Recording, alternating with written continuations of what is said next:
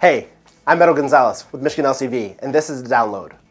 Line 5 is now infamous pipeline, which cuts across the Great Lakes beneath the Straits of Mackinac. Capable of carrying 540,000 gallons of oil a day, the 64-year-old pipeline has become a flashpoint issue.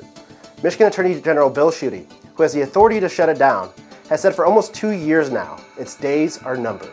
Recently, he said it should be shut down under a specific and definite timetable. However, he won't offer any date by which that should happen. The Straits are the worst possible place for an oil spill. University of Michigan researchers found that in just 24 hours, a spill from the Line 5 would turn Mackinac Island into a disaster zone, leaving our state's pristine beaches and islands tarred in black sludge.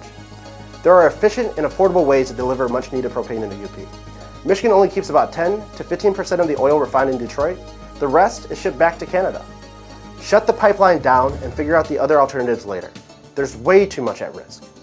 The Great Lakes are essential to our state's economy and our way of life.